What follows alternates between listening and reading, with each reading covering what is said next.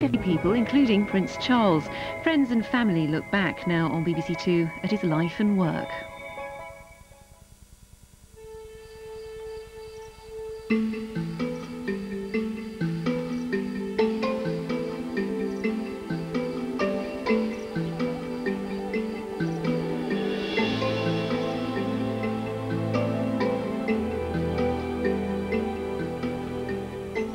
Laurens van der Post became widely known in the 50s through his films and books about the Bushmen of southern Africa. This is the story of a journey I've just made in Africa with the help of the BBC. It's a story of a long desert journey and the search for survivors of the almost vanished and forgotten first people of Africa, the Bushmen. After the war, Laurens van der Post spent over three years exploring the Bundu, remote and unknown areas of central and southern Africa for the British government. Out of those journeys came his books, Venture to the Interior, Lost World of the Kalahari and Heart of the Hunter, as well as a pioneering series of documentary films for the BBC. What do you see laid out on this skin, the bow, the bark quiver, the arrows, the spear, the ostrich egg shell for water, the satchel for the shell, are all a bushman ever possesses. Back in the 50s, when television was new, suddenly there appeared this series of extraordinary films about the Bushmen. I mean, the world is now so small, it's impossible really for anyone today to know just what an extraordinary thing it was. I was sort of in my mid-teens at the time, and they were just not like anything one had seen on television before, and just the, the spirit of the way Laurens was talking about the Bushmen and what they stood for made enormous impact on me. Another of Laurens's close friends was farmer, conservationist and writer Robin Page. Lawrence called him his English bushman. I first remember him, I think, on television in the little nine-inch black and white screen we had at the time uh, when he did The Lost World of the Kalahari. Uh, and it struck a chord with me because he was dealing with these endangered people who had got their special lifestyle. Uh, and you could also see a special relationship that he had uh, with the Bushmen. And then I got to reading him, uh, and this relationship became more clear. But as I got older, it became obvious to me uh, that here in Britain we had our problem with the culture of country people being squeezed out as well. And then I became aware of other cultures worldwide where the country people, whether it is the Bushman, um, the rainforest Indian, or the English peasant, of whom I'm about the last, um, are getting squeezed out and having other cultures imposed on them. Uh, and so it really did strike a chord. What he was able to do was to see what it was in their relationship with nature, with each other, their whole world view. We can see in that what we have lost. When we're trying to puzzle out why our present world is in such a mess, we can see that in very many ways why we are making such a muck of it and why we're so alienated from ourselves and why we are, you know, making an ugly, noisy, disgusting, polluted mess of the world and why we are so unhappy deep, deep down, why we've lost our way spiritually, is because we have lost all those things for which the Bushmen stood. Now, of course, Laurens would have not said any more than anyone else would that we should go back to that kind of very primitive thing. You can't recapture lost innocence. That's the whole point about innocence. Once it's lost, it's gone. But what you can do is understand what the values were in that instance, which one can try then consciously to re-establish some contact with in oneself. Laurens first came to London at the age of 22. He lived in Chelsea for over 60 years, but returned regularly to his native South Africa. He died a year ago, aged 90. In 1986, I made a program to mark his 80th birthday. We'd already worked together on films about the mythology of the Bushmen and on the life of C.G. Jung. In 1981, he'd been knighted for public services. He worked unofficially for various British governments since the last war, and involvement in what he loosely called the emancipation of the British Empire. The Vanderposts were a pioneering Afrikaner family. Laurens was the 13th of 15 children and was born on the 13th of December 1906. Despite his attachment to Britain, despite writing in English, according to those close to him, he remained at heart an Afrikaner, a citizen of Africa. I've got an intense feeling of belonging, an intense feeling of belonging to the desert and to the bush and to the world of nature. That is profoundly strong, and it gets scurries enough, it gets stronger as I get older. This is where he was so complex, you see. I think he, he loved Britain. He felt deeply attached to it.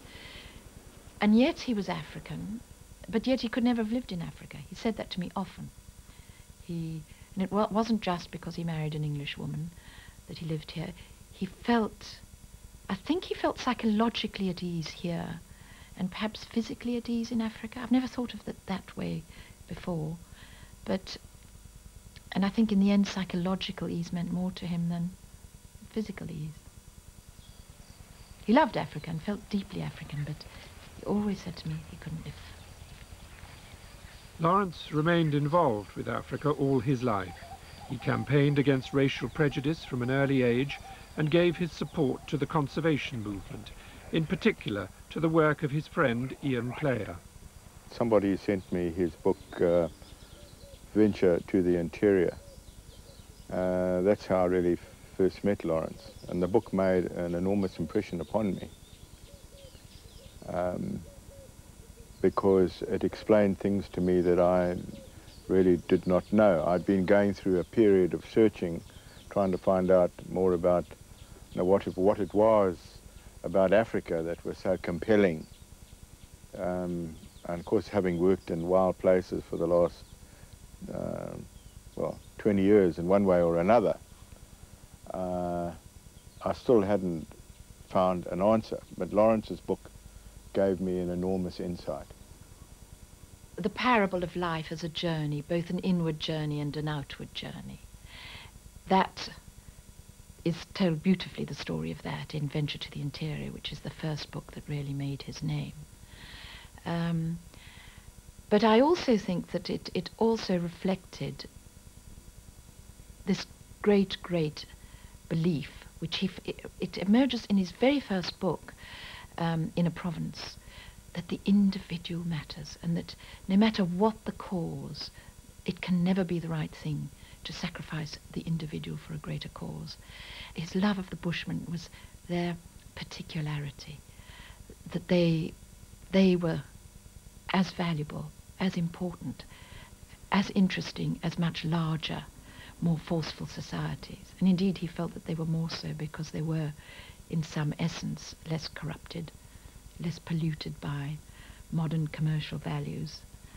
Um, value isn't measured in quantity or material worth. Their value was hugely important to all of us. Kangana,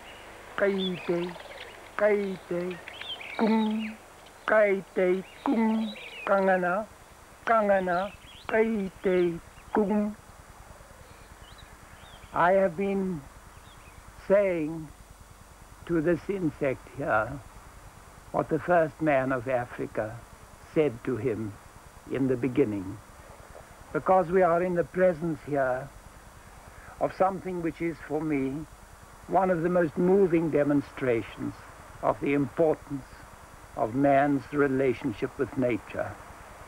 The elephant, the lion, the buffalo, even the crocodile, in the religions of Africa, play an immense role.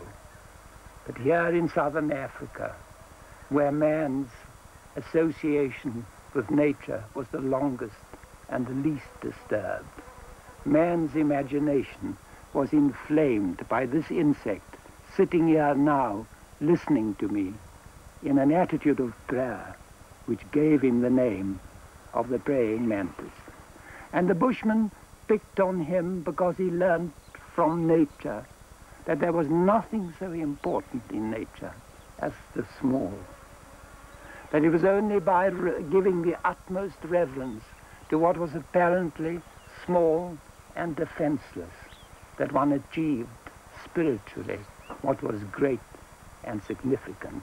And this insect inspired the greatest legends and myths which are in our possession in Africa today. Laurens was always prepared to help. He was always prepared to help the, the small things. And, and, and this I'm sure that he got from the Bushmen. I mean, he was not, um, I mean, he, he was involved in big issues. But when you came to him with what to most people would be something small, Laurens always saw the value. Uh, and this was particularly so with me and the, and the Wilderness Leadership School, which was a very small organization. But Laurens immediately understood what we were trying to do.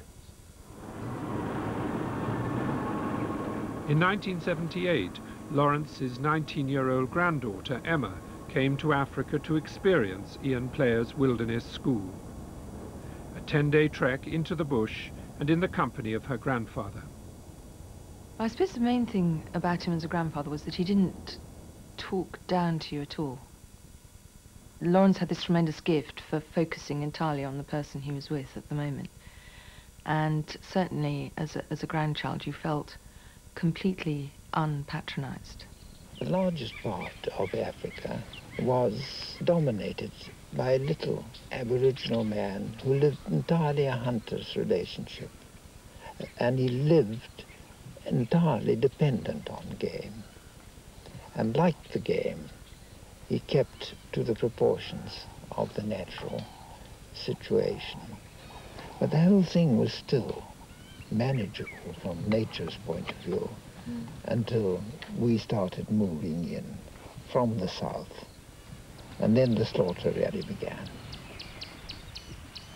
It was extraordinary being there with him, being in that landscape and seeing the landscape and the animals in the way that Laurens saw them was a tremendous privilege. It meant that you never just looked at the landscape as a kind of a panorama that was out there. You were very much aware of being in it. And I was very much aware of the way that Laurens felt about landscapes and Africa and the wild animals and birds and also plants that we were among. So that was a tremendous gift for a 19-year-old, really, to have that relationship to a place conveyed so strongly. I suppose it's of a piece with his kind of his mythic sense of nature, but also his mythic sense of the human relationship to nature. So that there were lots of stories that you wouldn't just be told about um, a plant. There would be a story about a plant. Every animal, there was a story behind it, and it wasn't just a sort of phenomenon you ticked off on a book and sort of said, I, I've seen this. Mm.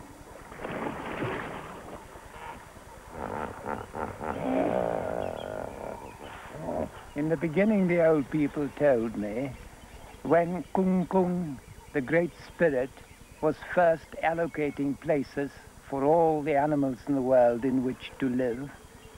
The first hippopotamus couple came to Kung Kung. And this Adam and Eve of the hippopotamus world said, Ngung Ngung, you know, of all the things in the world, we love water best. Water is the only element in which we can possibly live. Please allow us to live in the water. And Ngung said, look, hippopotamus, I simply can't do it. Look at your big mouth. Look at those sharp teeth of yours. If I let you live in the water, you'll eat up all the fish. And the hippo said, if you will let us live in the water, we will make a pact with you.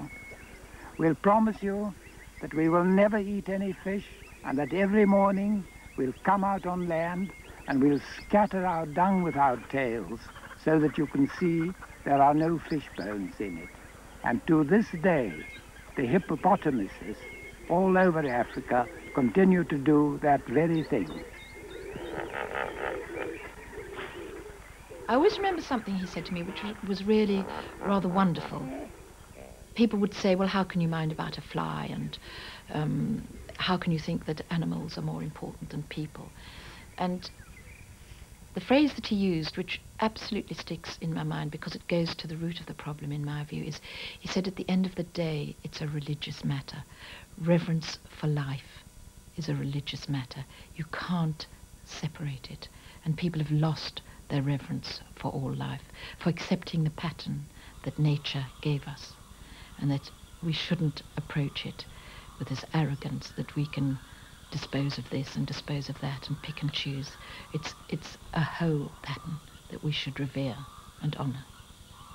And that is why the world is, certainly environmentally, the world is sick at heart. He would also say spiritually the world is sick at heart.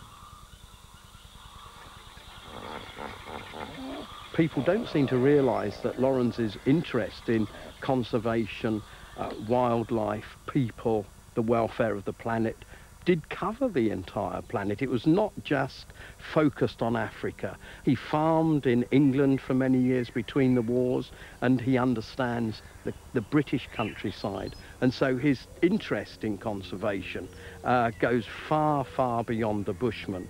And we were talking the same language about the damage being done uh, to the British countryside, uh, to its wildlife, to its landscape, to its people and to the soul of farming. I became really worried at the whole process of the destruction of the general countryside uh, and, and with it the belief that you should have nature reserves, that is islands for nature and the rest you don't care about nature because it seemed to me that you should have wildlife in every parish and every meadow as it was when I was a boy. Uh, and this is not being sentimental or nostalgic. I honestly believe you can produce food, you can stay in touch with nature, and you can have beautiful things as well. And Laurens believed this passionately too, that we should get back to actually being in touch, that if we ploughed a field and skylarks were in it, we're aware of their needs as well as the needs to grow food. And so we came up with the idea of forming the Countryside Restoration Trust. And I said to Laurens, will you be a trustee? The aim is to buy devastated land in this country and to restore it. And he straight away said yes. And he was very supportive, spoke to me about what we should aim for, what we should do, how we should do it.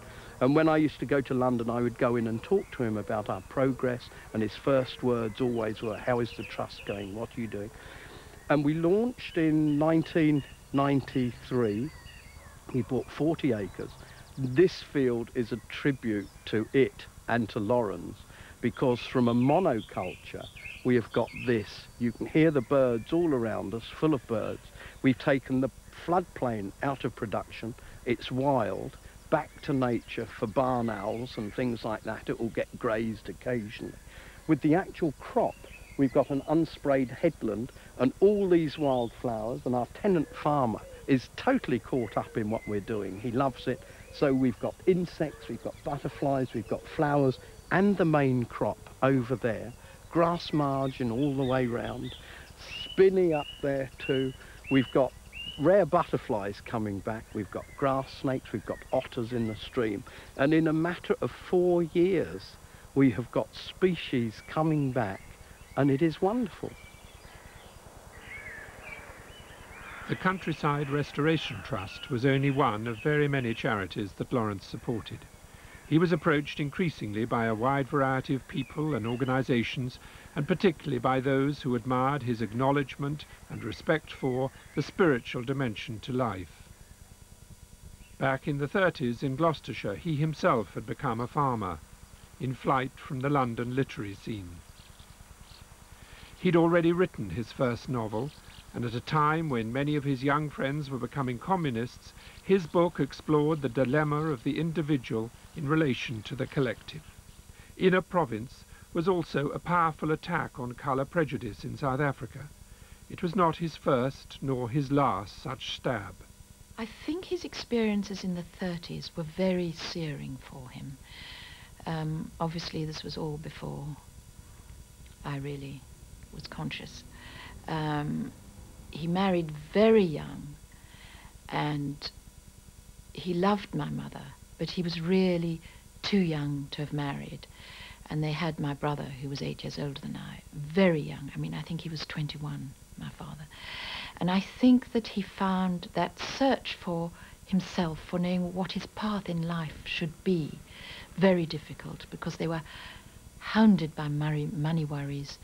He was worried as to how he could fund family domestic life and at the same time become a writer. And I think that was the source of his affection for somebody like Prince Charles and somebody like his nephew Tom and other young men was that he sort of identified with the difficulties that young men sometimes find in finding their own way in life. And I think that was important. And then, of course, the war. The war was clearly an absolute turning point in his life and some of his noblest writing. I think The Night of the New Moon is a stunning book, and the nobility of that thinking was all forged, really, in the crucible of the war. I think it was the defining experience of his life, the war. In 1942, Laurens was taken prisoner by the Japanese. As a young man, he'd visited Japan and learnt a little of the language. It probably saved his life.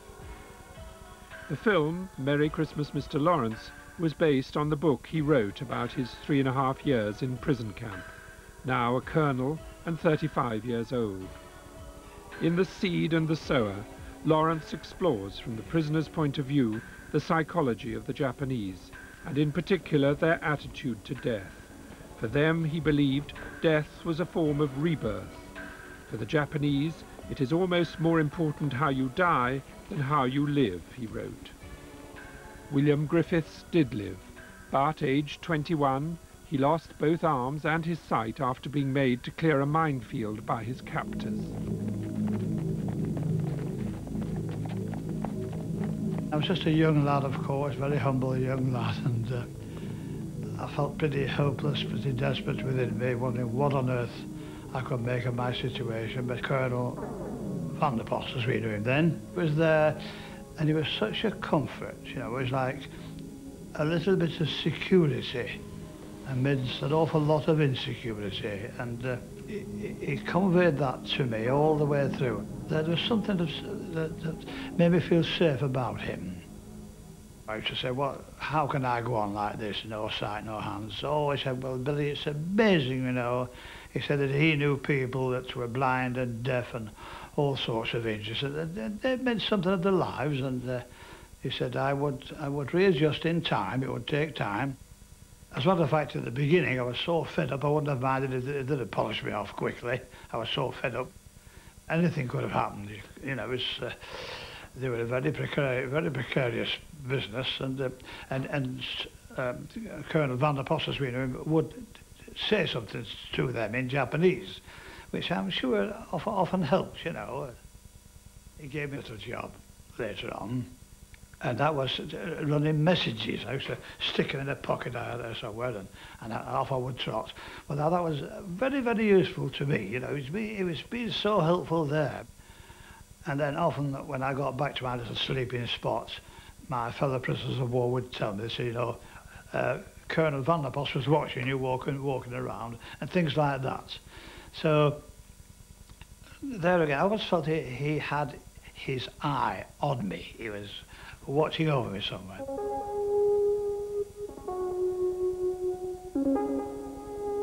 It was a, a pretty miserable existence, but uh, chatting to him brightened life up somewhat. I felt uh, better for knowing him, for knowing that he was there.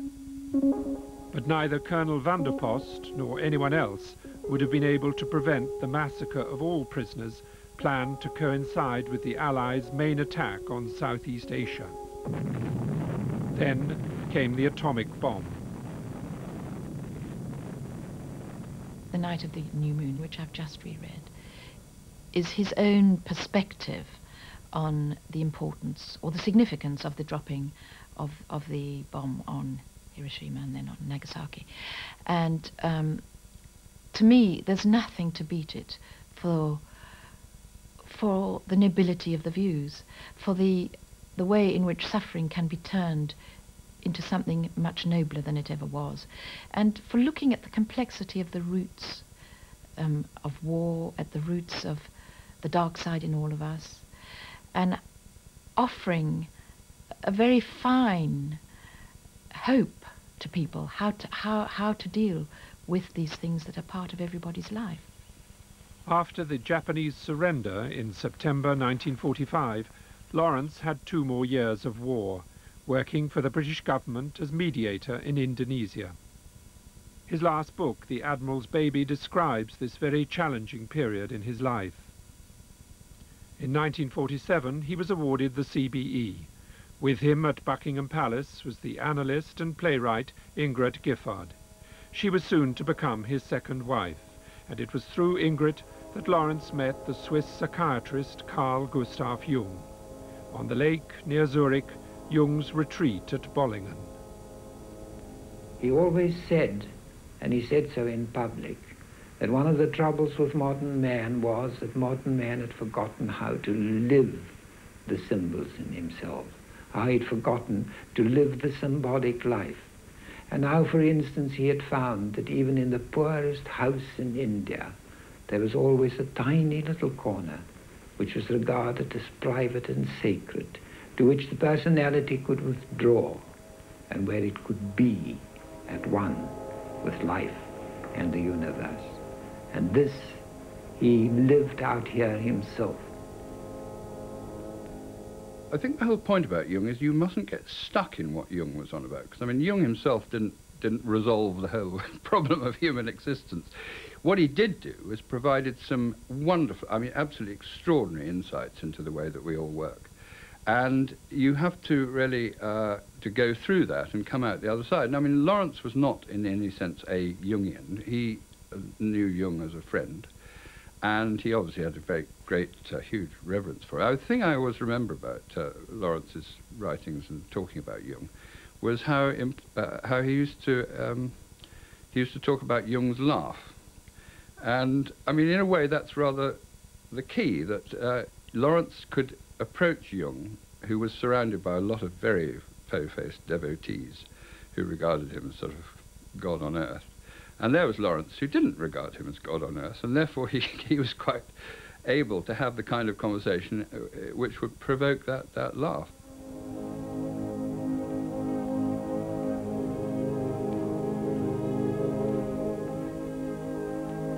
His whole life had been a dialogue, a dialogue with the sick, a dialogue with his own unconscious, a dialogue with the whole history of man.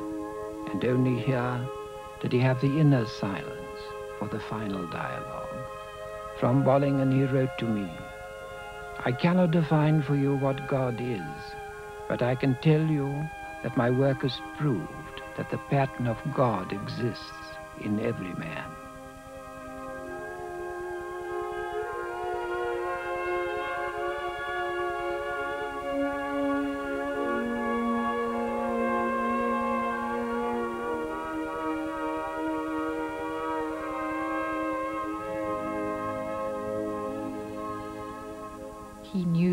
Failings. I've heard him talk about them. Uh, but he wouldn't call them failings. He would call them part of the larger picture, which is, of course, what they are. Laurens, it appears, also had his failings. The larger picture reveals a man who, as he got older, had an increasing tendency to hold forth dogmatically, yet resented the label guru. From his own retreat on the Suffolk coast at Aldeburgh, he continued to write, but allowed very little editing. There were certain things about which he was completely intemperate, and you just didn't talk about them. I mean, towards the end, he got very impatient with newspapers, the sort of shallowness of newspapers and the shallowness of the media, and that everybody had got the wrong end of the stick about the situation in South Africa, um, and, and, whatever. And he wouldn't listen to any alternative opinion, really.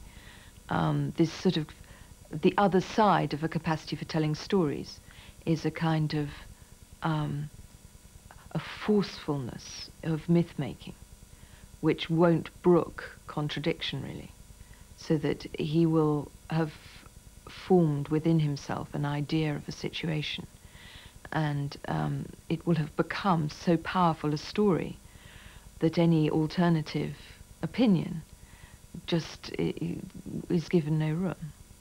the story just sweeps on over it. I think that he did have trouble, like most of us, in admitting his shadow side. Um, he really, he was incredibly sensitive to criticism. He would, he would shrink. He hated it. He really, he really did feel obliged to be as wonderful as he wanted to be. And I think this is a problem we all of us have. We all have great difficulties admitting that there are areas in which um, we are less than perfect. For the last 15 years of his life, Laurens's secretary was Jane Bedford, married to his nephew Tom. He answered all the letters himself. And I used to joke and say, because very many of the letters were from people asking him to do things, uh, send him things or appear somewhere, do something for them, be a patron. And um, he used to write such wonderful letters of refusal because you know he didn't have time to do all the things. He would have loved to, but he didn't have time. And I often said that his letters of refusal were so wonderful they would have been be better than most other people's yes. You know, a no from him was such a such a a wonderful no. It must have taken a lot of his time. Did he resent that? Um, yes and no, in that he used to grumble about it um, in theory, but in fact, when he was actually dealing with each letter, his heart was totally in it, and he never did anything automatically. He always gave it his, his complete attention and his, the best, his best possible reply. Um, there was never anything automatic. There was never a standard letter that we always sent to him, nothing like that. Of course, since the war, Sir Laurens has been, um, as I say, kept in touch, but uh, Uh, on family matters too, family affairs, like our son recently was, a couple of years ago, was very ill, very ill, had heart attack and colon and removed and terrible trouble with his wife, they were worried. And Sir Lawrence wrote to them several times, again to give encouragement, and, uh, and they were thrilled to bits, coming from him, long letters, I remember a couple of long letters, didn't they? Yeah. And uh, was written to us, written to my wife Alice here, and uh, it's really kept in touch, taken a, an interest, a real live interest in our lives. He was particularly fond of Billy, um, so he took special trouble, but he took special trouble with a lot of, a lot of people too. Many people turned to him for help and for advice, and he tried to help where he could. And I imagine one day a book will be written when some of these things will come out. And um, I mean, I don't think it's generally known, but for example, in the Zimbabwean conflict, the old Rhodesian problem, right at the death, they couldn't get uh, the sides to agree. And Laurens was called here in London, and a meeting was held with him and the Lancaster House talks fell into place and the Rhodesian problem was, was resolved.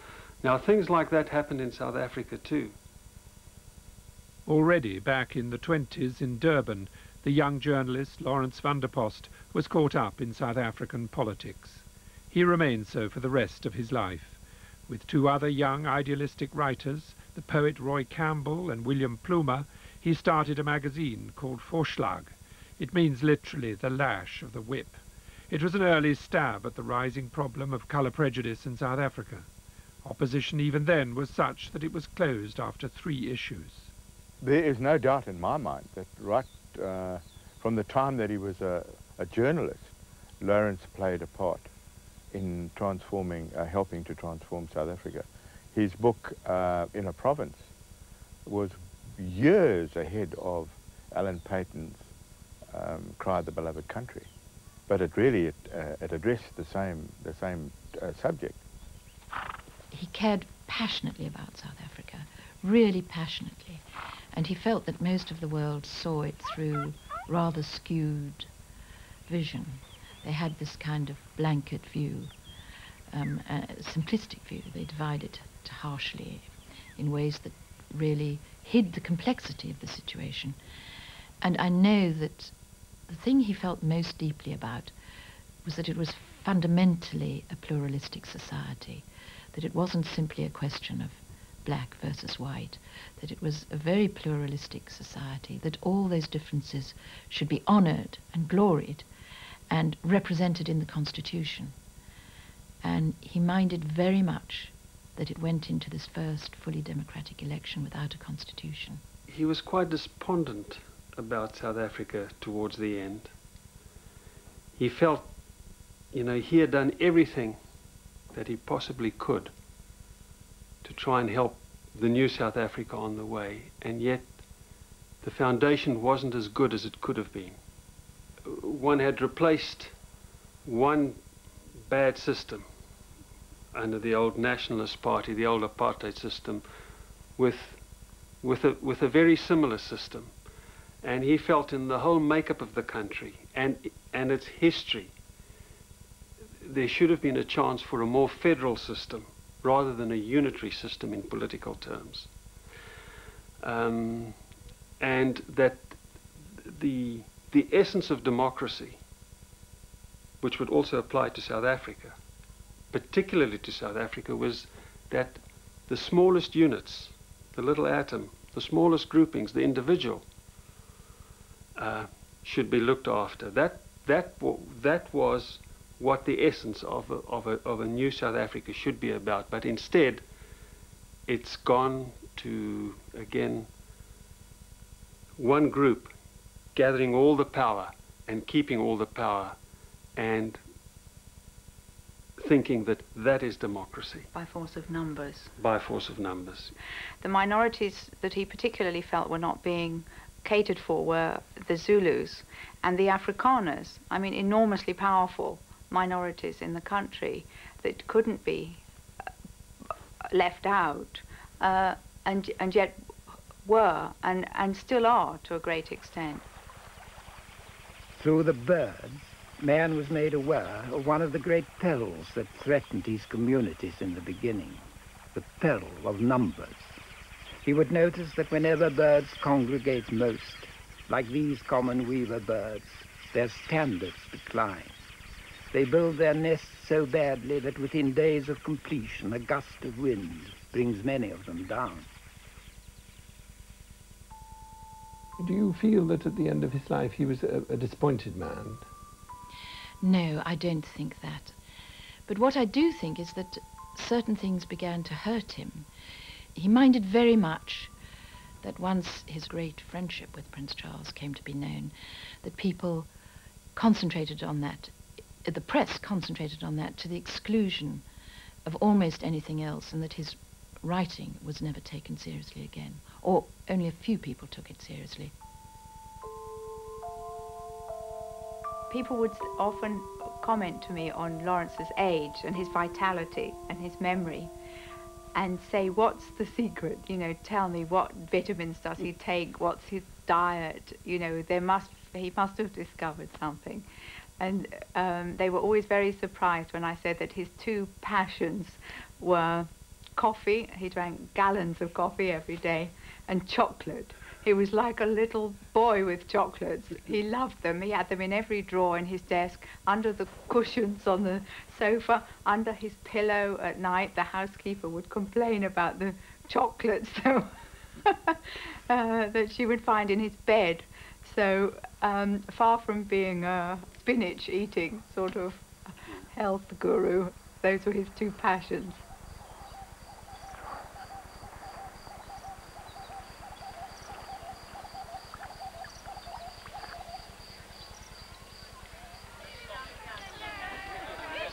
Howletts Animal Park in Kent. Its founder, John Aspinall, became a close friend towards the end of Laurens's life. Always having a game. And the difference is he's an elephant and I'm an old man. But uh, he's enjoying it and I'm pretending to. That's the difference between us. so Lawrence and I became kind of instant friends, if you like. Uh, though he was older than me, great friends, which is very rare. because normally friendship takes a long time to construct and many years have to pass before you can become a friend of somebody, a proper friend. Whatever we discussed, we seemed to have the same view. And we could talk about the Zulus or the Bushmen or wild nature. And so on that basis, I found a friend. And um, that was very refreshing and very reinforcing and strengthened me a lot. I used to gain strength from seeing him. I went around there for selfish reasons. I wanted him to, um, uh, to affirm, reaffirm my own view that I myself was on the right path, and this is what he did. To some extent, it must have worked the other way as well, to find a younger man who thought as he thought, who dreamed as he dreamed, whose vision was his vision.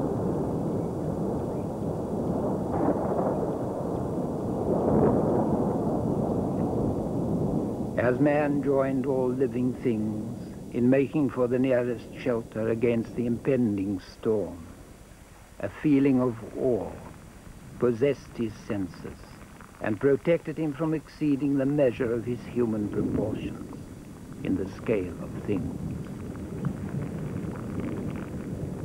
I think his contribution to conservation, in a sort of specialist sense, was by reinforcing the efforts of people spiritually who were doing that work, like Ian Player and myself and, and others, because they would go to him to find out if they were doing the right thing.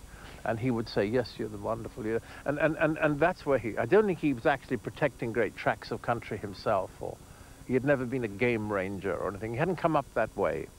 But, but um, he gave great strength to people in that field, philosophical and moral and almost spiritual strength to the people trying to protect wild nature, to say you're doing the right thing.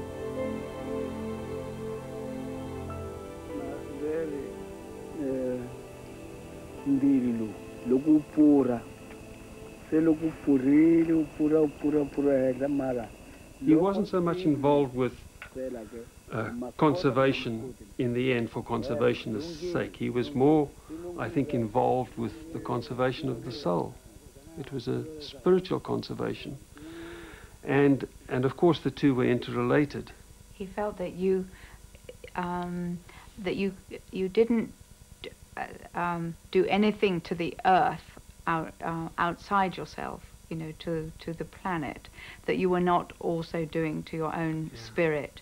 So areas that you destroyed, species that you allowed to become extinct, um, uh, things that were despoiled in your outer world had their equivalent um, in in the spirit, and that that's where the important uh, destruction was taking place.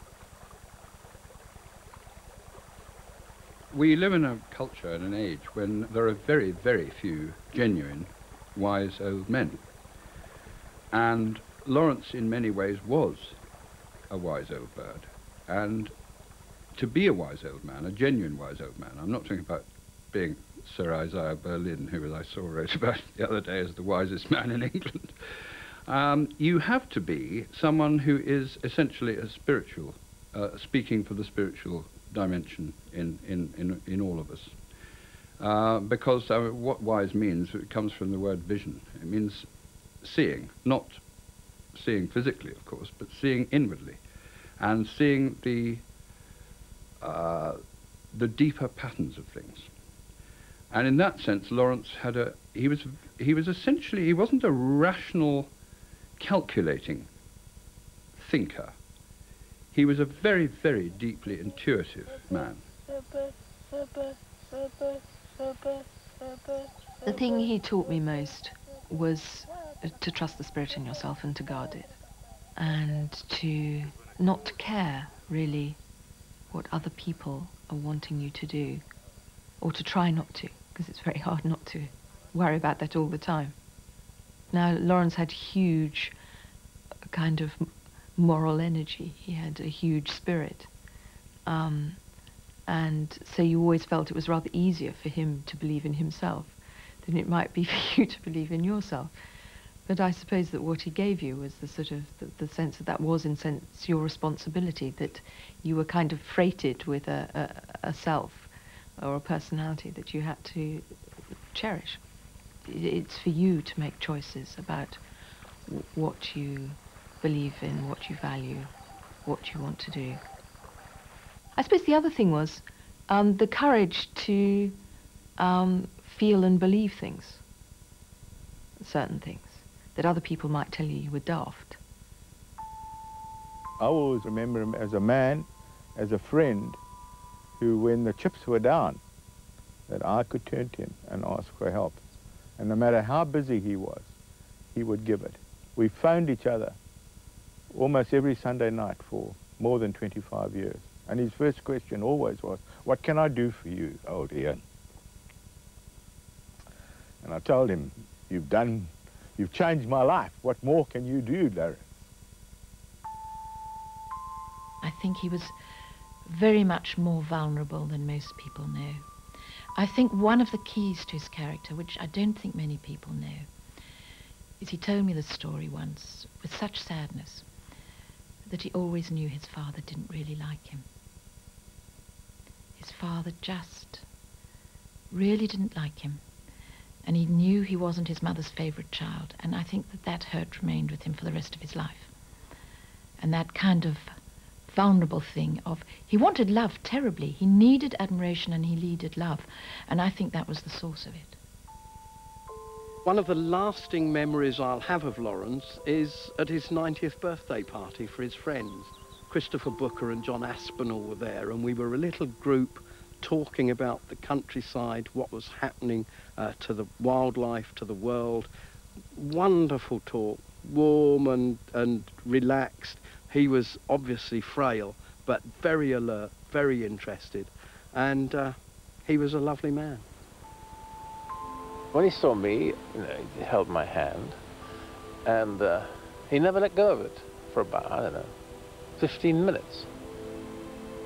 I knelt, actually, because I had to, I got tired standing up holding the hand. So I then knelt down to him, probably in a very suitable position, at his feet, in a humble position, not one I normally take up with most males or females of my particular species anyway. So I'm prepared to kneel at the feet of a great gorilla or a bull elephant. I'm not that keen to kneel at the feet of human beings, but I was happy to be there in the proper position. Sir Laurens van der Post died two days after his 90th birthday. At the end of the African day, the first man brought back from nature an answer as full as it was clear. There is living meaning not only in the brief here and now, but also in death and beyond. Outwardly poor and himself rejected by our technological world, he walked rich in his own experience, certain of his significance in the scheme of things. And with a sense of belonging so close that he even spoke of the vultures who presided over his end as our sisters the vultures.